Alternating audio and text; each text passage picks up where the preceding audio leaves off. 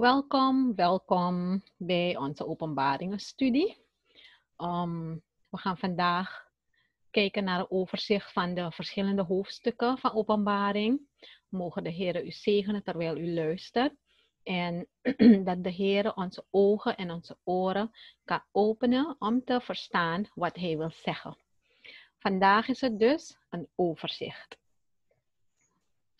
Um, ik wil eerst lezen Openbaring 1, vers 3, waar staat. Um, ik had het al gelezen bij de introductie, maar ik wil het nog een keer lezen.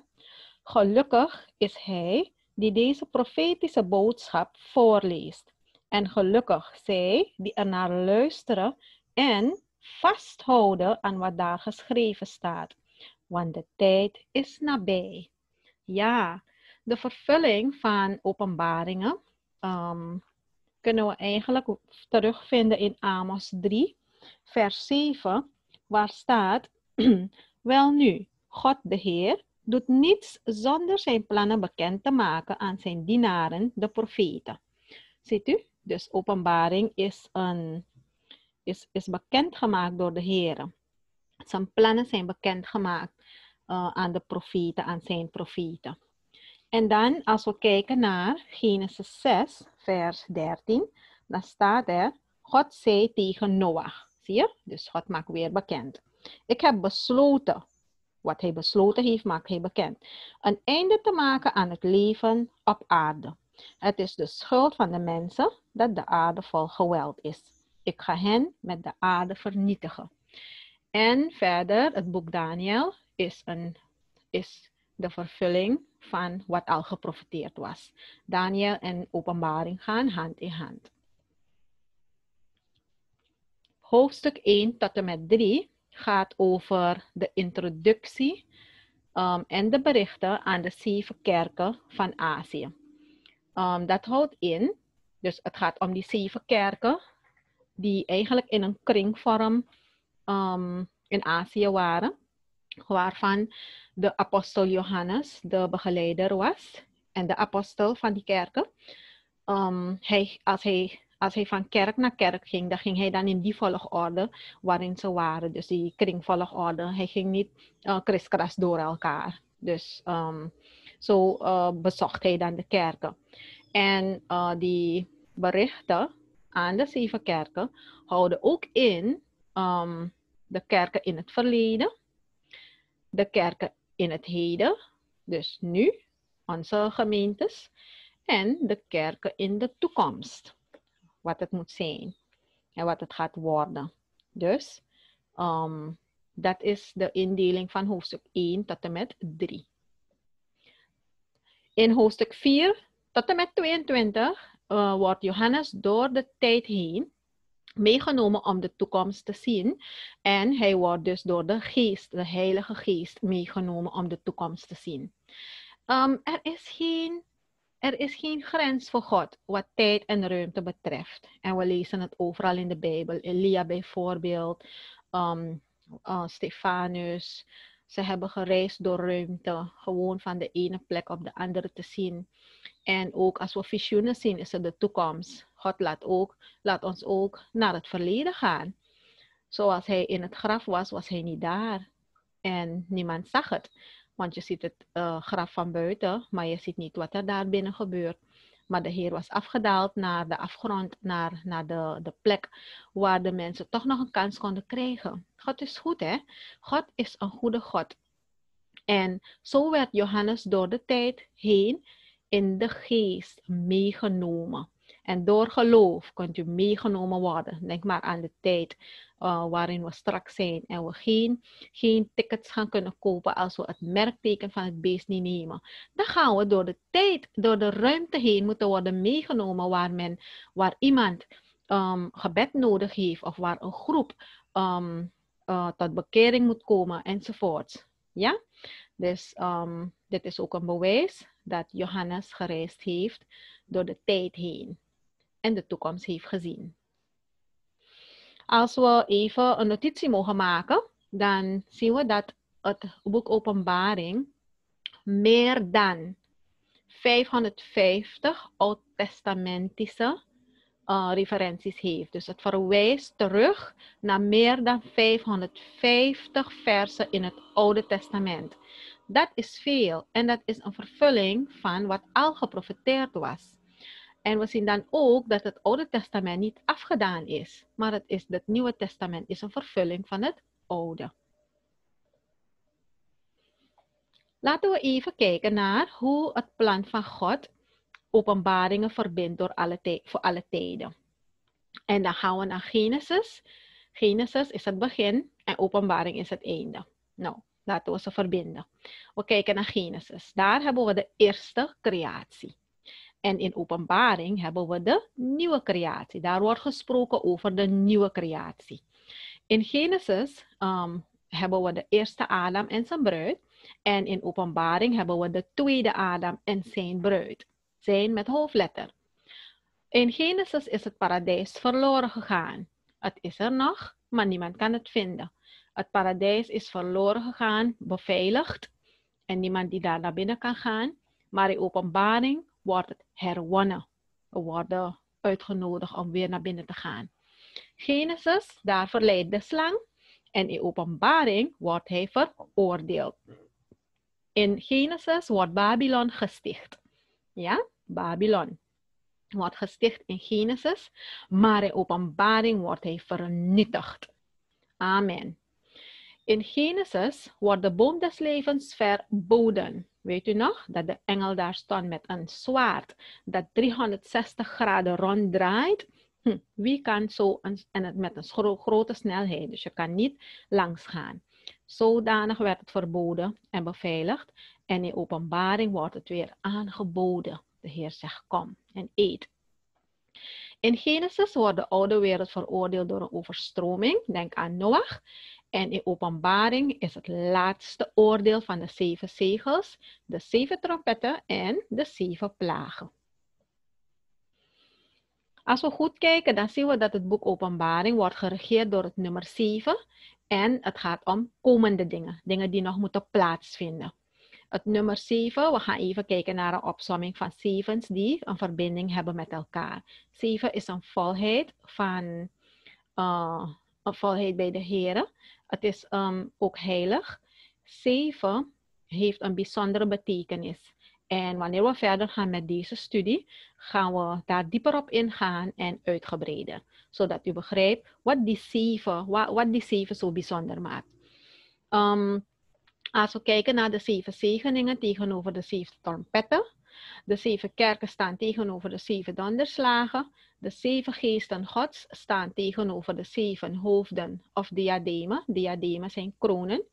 De zeven gouden lampen tegenover de zeven tekenen. De zeven sterren tegenover de zeven plagen. De zeven zegels tegenover de zeven gouden schalen. En de zeven horen zijn ogen tegenover de zeven wielen. De zeven engelen tegenover de zeven koningen. Er zijn um, drie verschillende manieren om het boek Openbaring te interpreteren. Dus um, je kan zeggen drie scholen of drie methoden om het te interpreteren. En dat is um, de preterist, de preteristische manier van interpreteren. En dat wil zeggen dat alles al heeft plaatsgevonden tijdens het Romeinse Rijk, toen de Romeinen aan het overheersen waren. Dat geloven zij. Ze geloven dus dat alles wat in openbaringen staat, al heeft plaatsgevonden tijdens het Romeinse Rijk. Dan hebben we de historische kijk op openbaringen. Um, die zeggen dat er een goede, um, een goede kennis van de geschiedenis, een goede kennis van de geschiedenis ver, vervangt de nieuwe kennis. Dus de, de, oude, de oude historische kijk wordt vervangen door een nieuwe kijk. En het is dus dat er geen ze bedoelen dat er geen nieuwe, dat die oude kijk op die openbaring, dat er geen, dat het nu eigenlijk niet relevant is. Het klopt niet. En dan hebben we de futuristen. Dus future is uh, de toekomende tijd. Dat is de correcte manier om naar openbaringen te kijken. Uh, omdat alles daar nog moet plaatsvinden. Sommige dingen hebben ook al plaats gehad en hebben ook betrekking op onze tijd. Maar vele dingen moeten nog plaatsvinden. En dat is de beste manier om naar te kijken. Symbolisch heb ik doorgehaald, omdat het eigenlijk ook een manier is om naar te kijken. Er zijn mensen die het boek Openbaringen symbolisch um, noemen.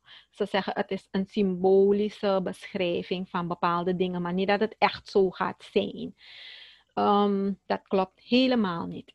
Dus de, de beste kijk is de toekomende, de toekomende kijk op openbaringen.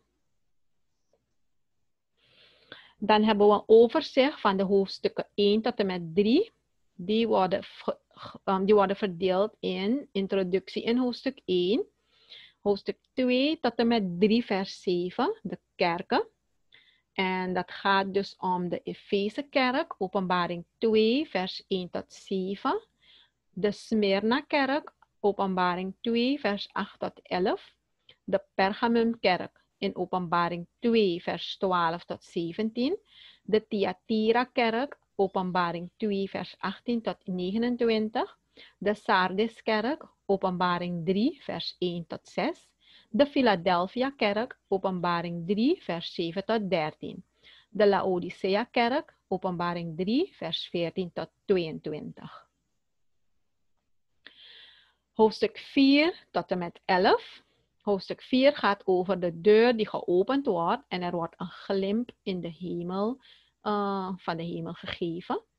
Hoofdstuk 5. De Heer Jezus ontvangt glorie om de zeven zegels van de boekrol te openen.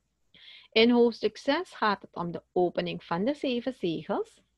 In hoofdstuk 7, vers 1 tot 8 gaat het om de afdichting van de 144.000.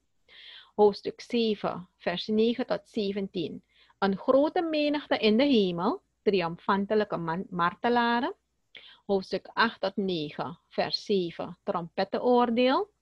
Hoofdstuk 10, de machtige engel met de kleine boekrol. Hoofdstuk 11, vers 1 tot 2, de meting van de tempel. Hoofdstuk 11, vers 3 tot 12. Um, hoofdstuk 11, vers 3 tot en met 12, vers 2, getuigen.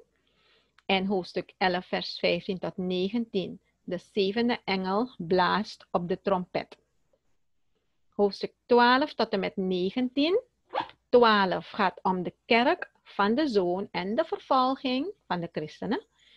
De hoofdstuk 13 gaat om de onheilige drie-eenheid. Hoofdstuk 14, vers 7, visioenen.